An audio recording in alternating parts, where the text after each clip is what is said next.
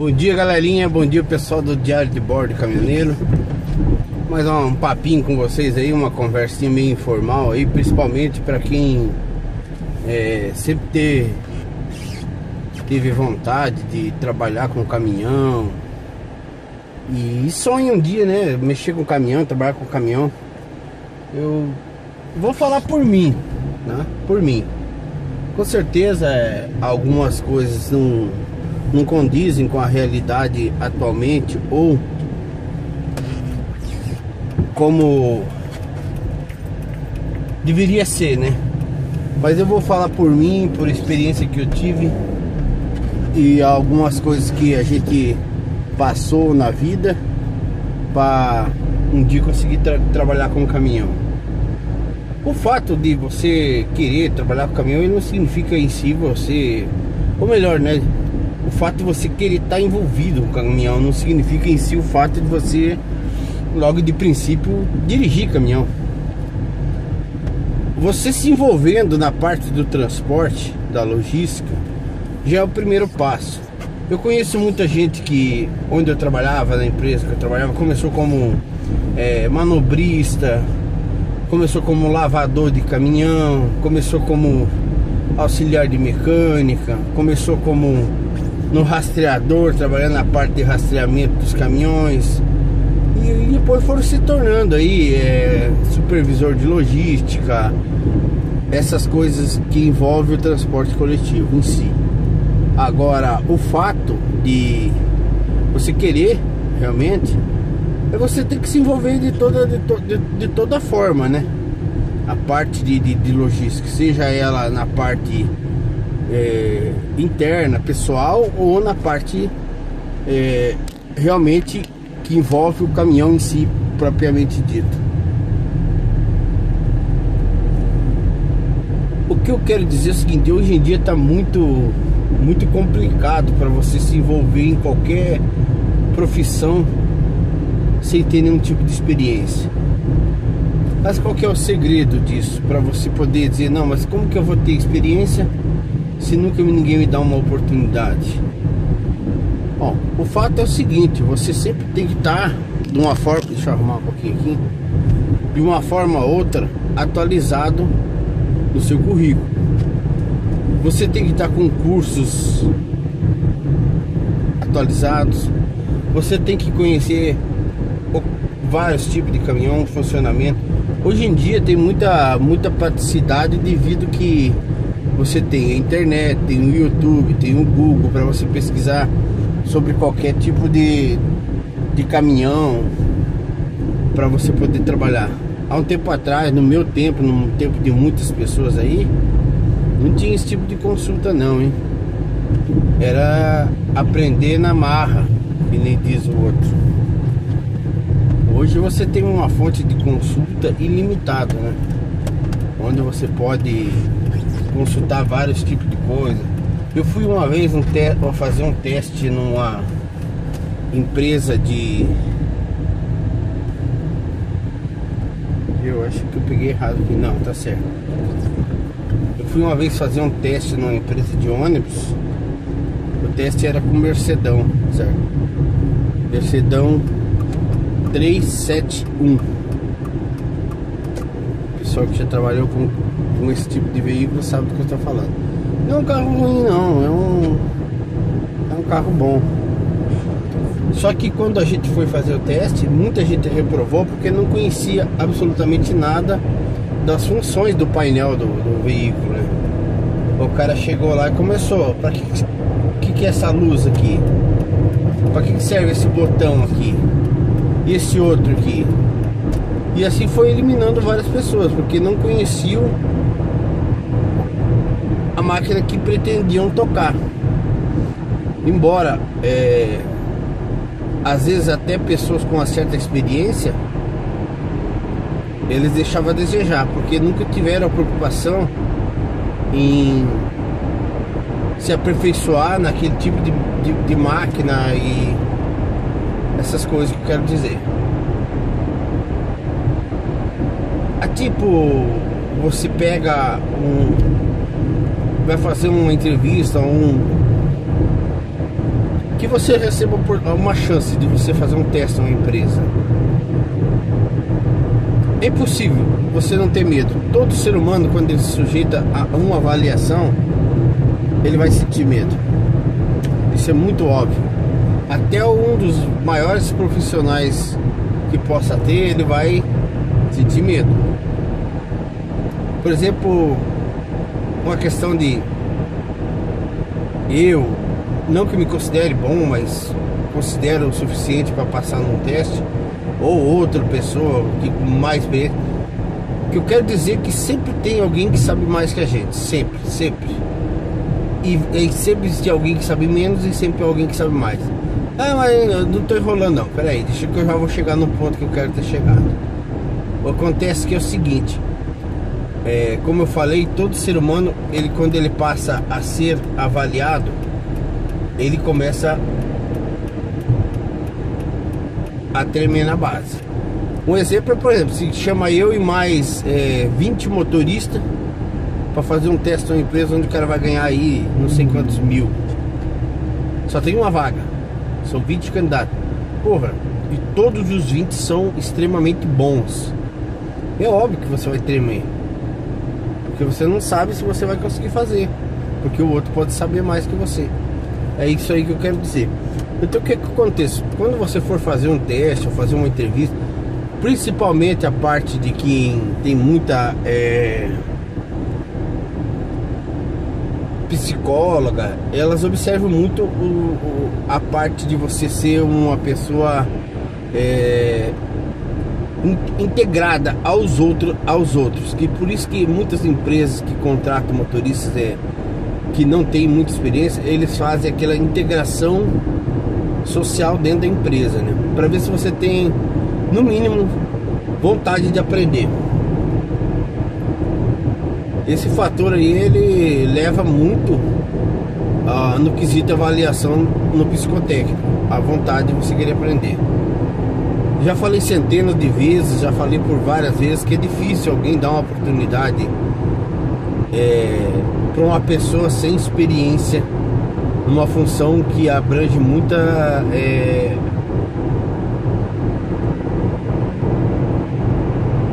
assim como é responsabilidade.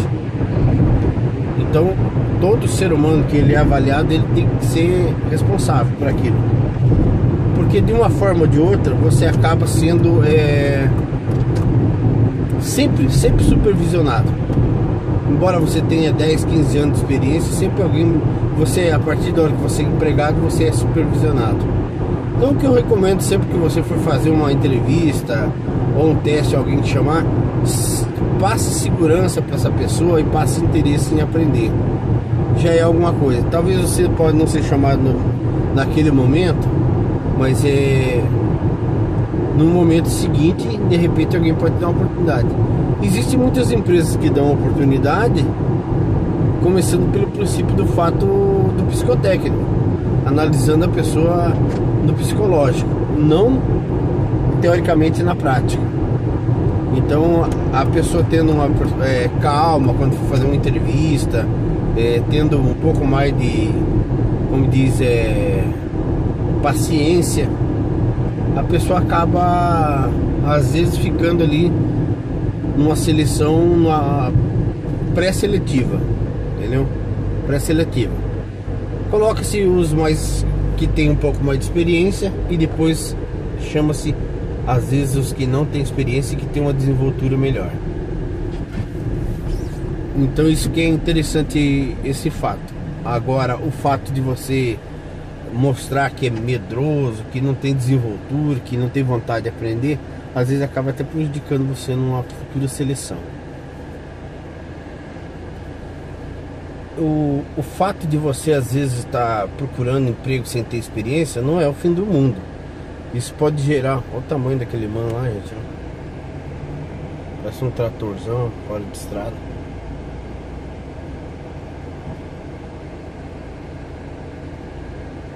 Bonitão.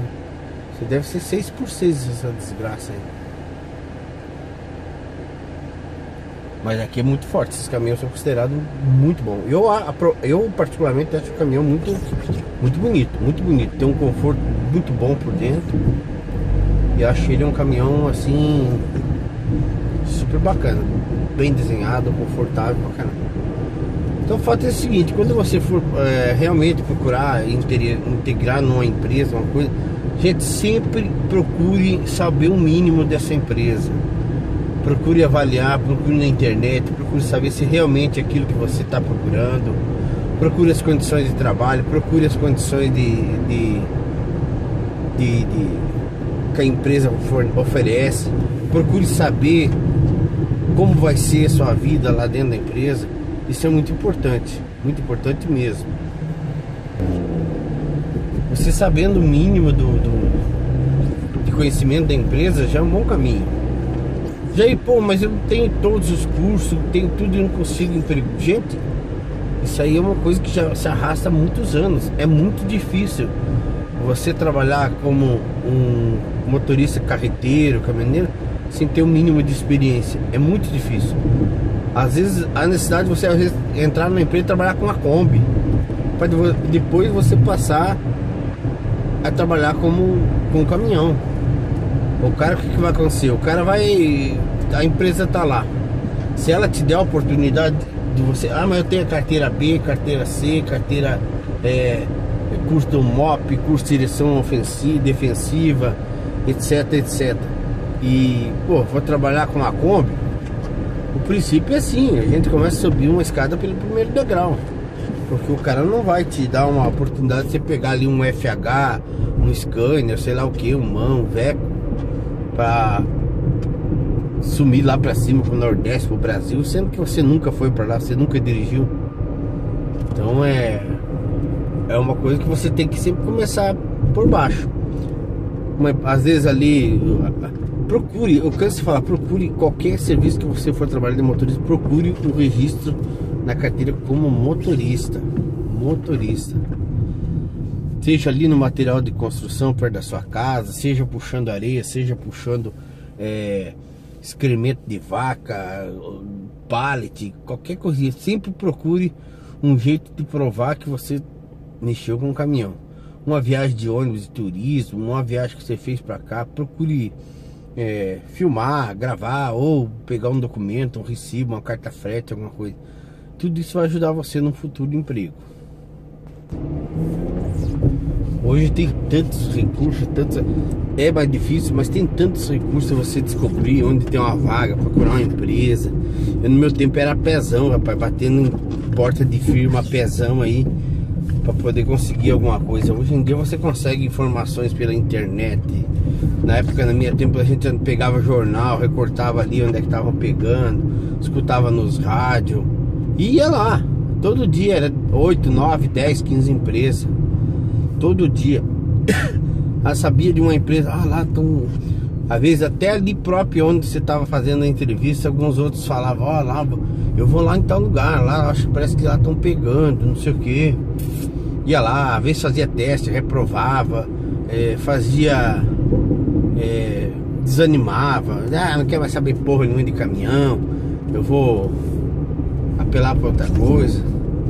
Já cheguei a fazer isso, já saí do ramo, fui mexer com outras coisas, com vendas e mas sempre correndo atrás, sempre correndo atrás. E nunca pensei assim, dizer não, eu desisti. Pô, se você quer, você vai atrás. E o que é seu, ele vai vir até você.